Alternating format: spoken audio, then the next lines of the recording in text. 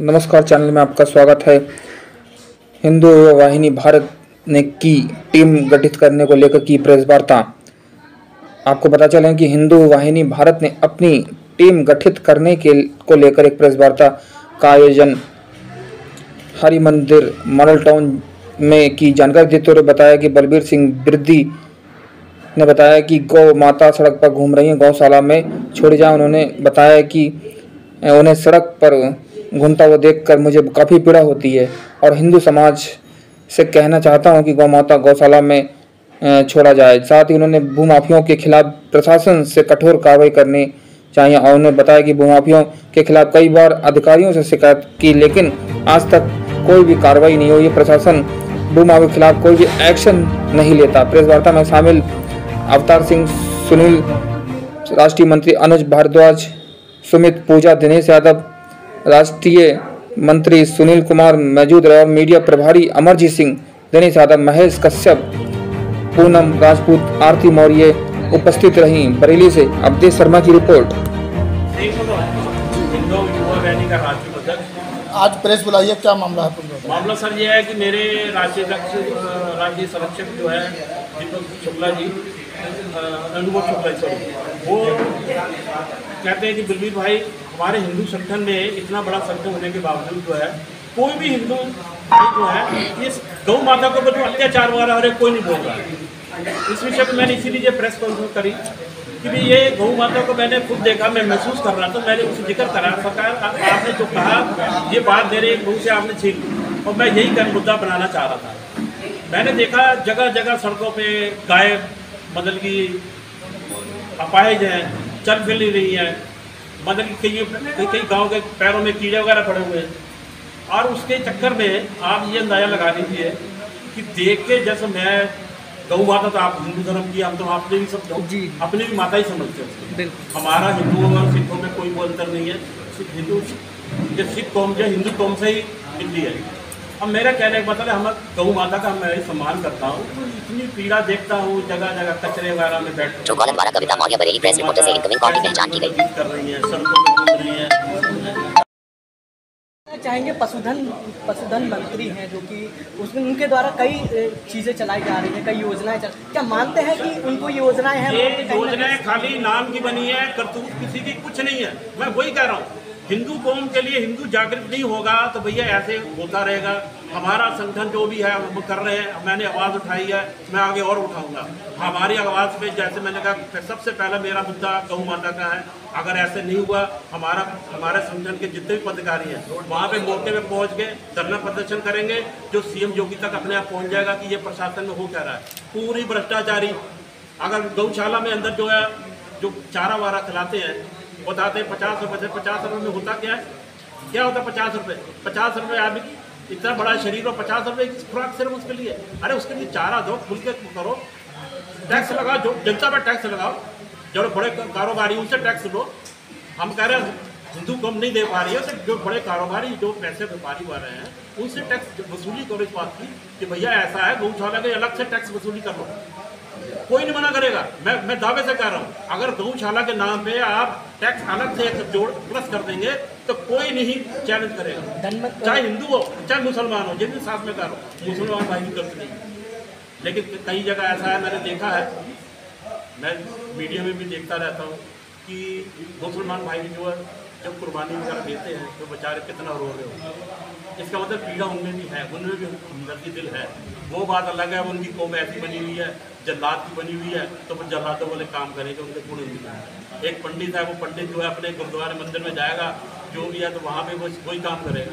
उनके नाम में काम ही उनका कसाइयों वाला तो भैया वो कसाइयों वाले काम करेंगे। वो आप उसको हम ना सुधार पाए ना कुछ सुधार पाए। तो लगता है अभी भी गौ कसी है इस तरह से अभियान जिस तरह से कहीं ना कहीं नहीं हो पा रहा है? नहीं हो पा रहा है बिल्कुल नहीं हो पा रहा है।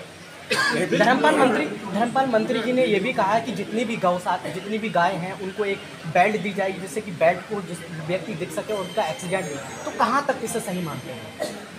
गौ माता पहली बात तो सड़कों पे होनी नहीं चाहिए।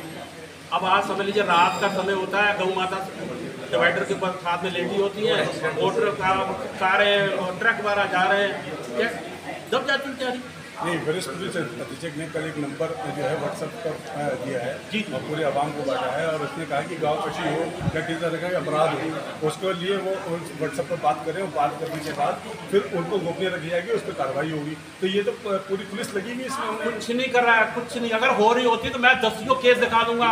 आपने अभी मेरे को करा है तो मैं देखना जगह जगह फ़ोटो खींच के वीडियो फ़िल्म बना के और मैं मुख्यमंत्री जी के यहाँ पोर्टल पे डाल दूँगा कि ये हो रहा है मंत्री जी ने ये भी कहा है जितने भी गौ- गा- गाय हैं और गौशाला हैं उनको सुरक्षित रखा जाएगा उनको कोई हानि नहीं होगी। तो किस किस तरह से किस सुरक्षित सुरक्षित हो रही होती है तो सड़कों पे ऐसी बेइंतहा गाड़ी गाय नहीं है। पहले से बल्कि ज़्यादा हो गई तो इसके लिए क्या क्या क्या मैं करेंगे? मैं इसके लिए यही चाहता हूँ कि ये नगर निगम जैसे बने हुए जो गाय वालों को पकड़ते हैं इनके लिए अलग से बनाए गए हैं। तो वहाँ पे इनको चारा वगैरह खिलाया जाए उनकी सेवा करी जाए जो भी है अगर मान लो इस, इस मैटर में अगर कोई चंदा वगैरह दे के जो बड़े उद्योगपति हैं उनसे कुछ पैसा वगैरह लेके टैक्स के रूप में कोई भी मना नहीं करेगा। चाहे हिंदू हो मुसलमान हो सिख हो ईसाई हो इस इस इस मैटर में कोई मेरा मेरा मानना है कोई भी आदमी इसको नहीं कहेगा भैया मैं इस मैटर में टैक्स नहीं दूँगा। तो आप- बोला टैक्स लगा दे गवर्नमेंट तो आपके भी द्वारा कोई अभियान चलाया जाएगा कि गौशाला में जाया जाएगा या फिर जो गौशालाएँ हैं और जो गाय हैं जो भटक रही उनको भी कोई सुरक्षित जगह आप देंगे या फिर कोई कार्रवाई करेंगे? मैं वही पहली बात तो यही है कि हम ये जो भी यही दरखास्त करना चाह रहे हैं कि ऐसा ना हो। अगर ऐसा नहीं कर रहा तो हमसे संगठन हमारा है, हम एक उनके साथ एक रणनीति बनाएँगे जितना हमसे सहयोग हो मिलेगा। हम करेंगे। उतना जितना सहयोग मिलेगा हमारे कहीं ज़मीन को किराए पे लेके। आप कभी गौशाला गए देखने? मैंने कई बार देखा। कैसे स्थिति वहाँ? बहुत गंदी गंदी हाँ, तो देख के पीड़ा आती है मैं तो यहाँ से ज़्यादा तो अंदर जाके स्थिति बेकार हो जाएगी कहाँ? वहाँ पे व्यवस्था करी जाए हाँ, सही करा जाए उसमें सुधार लाया जाए। पहले बहुत सुधार लाया उसमें सुधार लाया जाए। अगर सरकार एक बरेली में एक बरेली के दायरे ज़मीन पर है ये गिरजाघर हमारी ज़मीन पर है ये स्कूल हमारी ज़मीन पर है। वास्तविक में वक्फ बोर्ड भारत की आज़ादी के बाद सबसे खराब कानून बनाया गया जिसमें हिंदुओं को बेदखल करने की एक साजिश रची गई। उससे भी ज्वलंत मुद्दा और गंभीर मुद्दा हाल ही में हुए बांग्लादेश के नरसंहार के बारे में है, जिसमें हिंदू भाइयों भाइयों के ऊपर बहुत ही अत्याचार हुआ। हिंदू बेटियों, बहनों के साथ बलात्कार की घटनाएँ हुई और जो अभी तक है थम नहीं रही है अंतर्राष्ट्रीय स्तर पर। किसी भी देश ने, किसी भी संगठन ने यूनाइटेड नेशन ने इस पर कोई भी विरोध की आवाज़ नहीं उठाई है। और आज हमारे हिंदुओं का जो दमन बांग्लादेश में हो रहा है उसके लिए हमें राष्ट्रीय स्तर पर हिंदू युवा वाहिनी आज के इस प्रेस कॉन्फ्रेंस में इस बात की चेतावनी देती है कि इसको हम जिला स्तर से, प्रदेश स्तर से और राष्ट्रीय स्तर पर इस मुद्दे को उठाएँगे। और हिंदुओं पर, किसी भी देश में, पाकिस्तान और बांग्लादेश, काश्मीर, केरला केवल फ़िल्में बनाने से काम नहीं चलेगा। हमारे हिंदुओं भाइयों पर, विश्व में किसी भी हिस्से में अगर अत्याचार होगा तो हिंदू युवा वाहिनी एक सशक्त ग्रुप के रूप में, संगठन के रूप में इसका विरोध करेगी। वक्फ बोर्ड का हम विरोध करेंगे। वक्फ बोर्ड एक छोटी सी चीज़ है, आप लोगों को आप पत्रकार बंधुओं में ज्ञात होगा, लाखों एकड़ ज़मीन वक्फ बोर्ड ने कब्जा रखी है। और उसके अलावा आप केवल एक सड़क पर बरेली से निकल जाए विदेशिया से लेकर भोलीपुरा तक, नब्बे प्रतिशत अतिक्रमण सड़क के दोनों तरफ़, किस समुदाय ने, किस जाति के लोगों ने कर रखा है, इसके बारे में उल्लेख करने की ज़रूरत नहीं है, आप लोग प्रबुद्ध हैं, आपको खुद है जानना। वक्फ बोर्ड की ज़मीन डिक्लेयर्ड है, घोषित है कि इतने लाख एकड़ की कब्जा है।